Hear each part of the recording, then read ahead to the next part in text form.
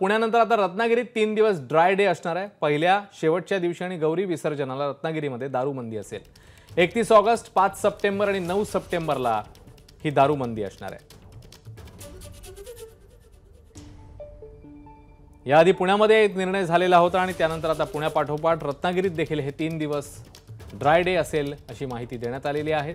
तसा आदेश काढण्यात आला आहे याच्यामध्ये अर्थातच गणेश चतुर्थी त्यानंतर गौरी विसर्जन आणि नऊ सप्टेंबर अनंत चतुर्दशी या तीन दिवसासाठी हा निर्णय लागू असेल. अमोल मोरे या निर्णयाबद्दल आपले प्रतिनिधी अधिक माहिती देतील. अमोल.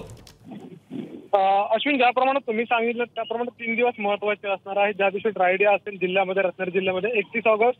पाच सप्टेंबर आणि अनंत चतुर्दशी अर्थात नऊ सप्टेंबर. या दिवशी हा ड्राय डे असेल. आणि मुख्य गोष्ट म्हणजे उत्पादन शुल्क विभागाकडून जे आहे ती चार पथकं मुंबई गोवा महामार्गावरती तैनात करण्यात आलेली आहेत कारण की बऱ्याच वेळेला चोरटी दारू जी आहे ती या उत्सवांमध्ये ये जा त्याची होत असते. किंवा तस्करी जी आपण म्हणतो तर ती केली जात असते. आणि ही महत्वाची खबरदारी जी आहे ती उत्पादन शुल्क विभागानं घेतलेली आहे. अश्विन. अमोल धन्यवाद या माहितीबद्दल. एबीपी माझा. उघडा डोळे बघा नीट.